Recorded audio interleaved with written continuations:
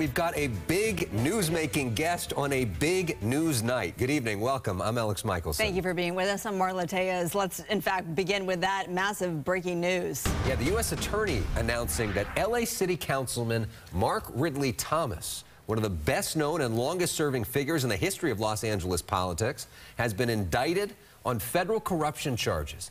Prosecutors describe the case as a conspiracy bribery and fraud scheme involving USC, which is why the former dean of USC School of Social Work, Marilyn Louise Flynn, also indicted. We're told those charges involve a bribery scheme stemming from Ridley Thomas's time as a member of the LA County Board of Supervisors. So the allegation is this Ridley Thomas received benefits from USC in exchange for support for contracts with the university.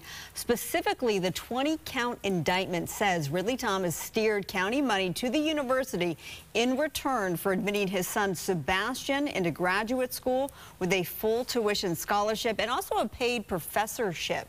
The indictment has been filed in L.A. federal court. So we have no official word from Mark Ridley Thomas yet. Uh, but this has the potential to really be a political earthquake here in Los Angeles. There are also uh, council members who are calling for him to step down and just get out of the way at this point. One of those councilmen, Joe Buscaino, he is running for LA mayor, as we have reported many times here. He sent out this tweet. It reads, I am shocked, saddened, and disgusted by the federal bribery charges against Mark Ridley Thomas.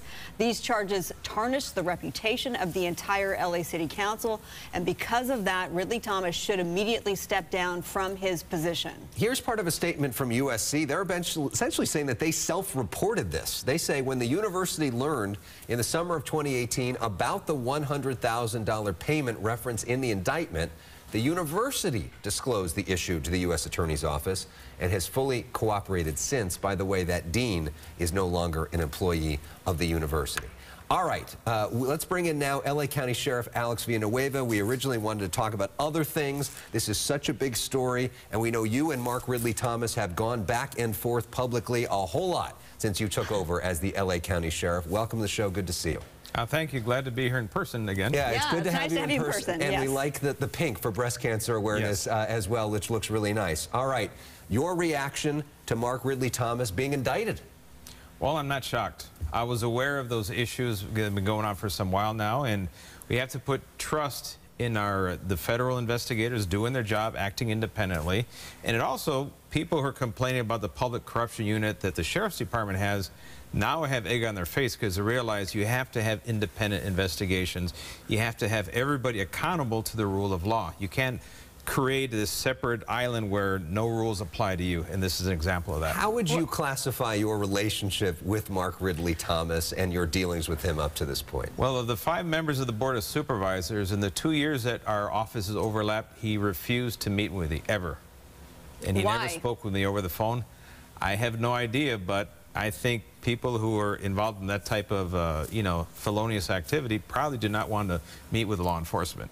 Well, it's no secret that the two of you were foes, and we, we want to play some sound. This is what he mm. said specifically about you just last month. So here's some sound from Mark Ridley Thomas. But this sheriff has made things much more challenging, much more difficult on practically every front. Resisting independent investigations as our county ordinances call for. All right, so he's referring to uh, the subpoena that you essentially ignored. We'll ask you about that in a second. But he says you make things more difficult in every front. Now, this breaking news tonight, your reaction to hearing that? Well, when truth speaks to power, it is difficult for those who are in power. And I've been speaking the truth for over three decades now. I confronted Lee Baca and Paul Tanaka and I did it when I was just a, a lonely sergeant, and I told them, you're wrong. This is going to lead to the downfall of the organization. I was laughed at, ridiculed, and ignored, and then retaliated against. I persevered. They're convicted um, felons. And now, fast forward to today, I'm still speaking, speaking truth to power. And just this is a bigger stakes, a bigger arena, but the exact same principle. Everything I've spoken about the Board of Supervisors being corrupt in their activities is being manifested by the behavior. Remember, when he did this, he was a chair of the Board of Supervisors. Yeah. And his agenda is the one that I've been working hard against. So if they find it inconvenient That's a problem of the people that are in- involved in corrupt activities. By the way, uh, Lee Baca was the sheriff, uh, Paul Tanaka was the undersheriff, Yes. and both of them ended up being criminally convicted. Marla.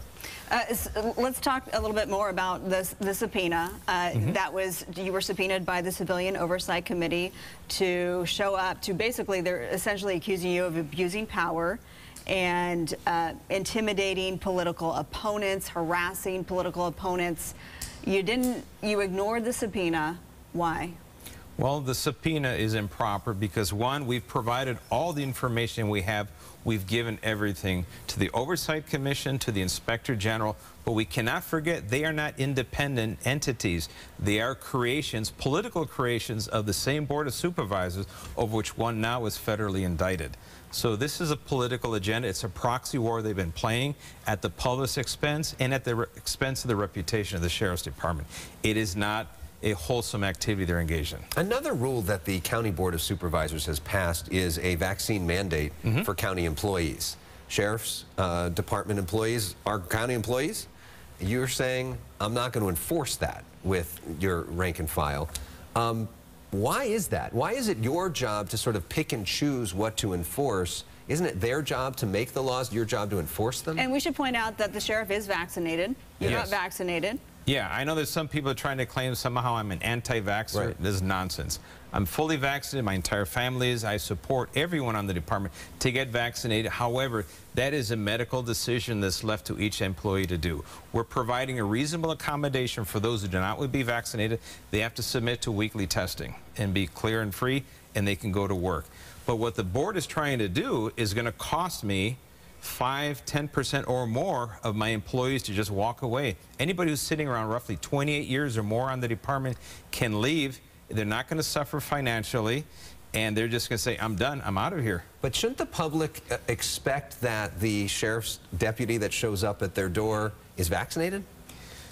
They should, uh, they should hope that, but they also should be wearing a mask. But at the same time, remember, in 2020, the whole thing pre-vaccination was ICU bed capacity in ventilators. Then somehow, once the vaccination became uh, available, all of a sudden now we're not talking about ICUs anymore. Now it became emergency room. And then after that, now it's hospitalization. So they're moving the goalposts, but the fact is, we cannot impose a, a medical decision on each employee. They, they're going to have to make that decision themselves. Are you getting pushback from your deputies? What is the vaccination rate within your department? It's sitting some, somewhere between 55 to 60 percent. Wow. We're Wow. getting everybody Much lower, much lower than the rest of the county. right. The county as a whole, population-wise, is approaching about 70 percent full vaccination. However, recognize that it is so politicized the decision. Law enforcement and fire is in the same boat. Right. They tend to be more conservative. They're going to be more buying into the whole politicization narrative than not get vaccination. So it's going to be a disproportionate effect on first responders. I recognize that, and that's why I'm making it voluntary. However, you have to test if you don't vaccinate. And what about enforcing the county's vaccine mandate at businesses, which is, is going to increase That's- in the weeks ahead? That's going to be up to each business to enforce it, and however they want to do it, that's great. With so no if you get a from you. call, if you get a call, you're you're not we will to. respond to a call if there's a business dispute, and we will obviously assist any business that is trying to enforce a mandate. But we're not going to become the vaccine police, not at all. That is totally inappropriate. Plus, our limited resources that we have, we have bigger things, bigger fish to fry. and what do your deputies say that don't want to get the vaccine? They Is- appreciate the position I'm taking. Okay. They understand that I'm balancing multiple needs here. Mm-hmm. And the board, if they really understood their workforce, they would not be pushing a mandate that they know, just look what's happening in Southwest Airlines, LA Unified School District. They're in some major hurt right now because one thing is saying, I want a mandate. Next thing is actually following through and making it happen. Yeah. And what and those both have had problems with the fact that they don't potentially have enough employees that Exactly. are vaccinated to get the job done that they need. Uh, so one of the things that you say is one of the bigger problems is homelessness, which Yes. most people agree is the biggest issue facing us. There's been some question about your jurisdiction uh, when it comes to homelessness and potentially going into areas that are usually patrolled by the LAPD uh, to help out. Uh, we see you in Venice. There's been some questions raised about that. Also, the, the VA, which is, uh, you know, an area typically patrolled by the LAPD. What do, what do you say uh, to critics that, that you're going into places where you, it's not your role? I, I bet you're going to say that, and I wanted to point out, here you are in Venice, but that has been cleared out. Yes. It, it looks nice. It looks like a beach again. Yes. Yeah. And not only does it look like a beach, the businesses are open, the tourists returned, and everybody was thankful to the fact that we did um, cross that line that in the past we didn't.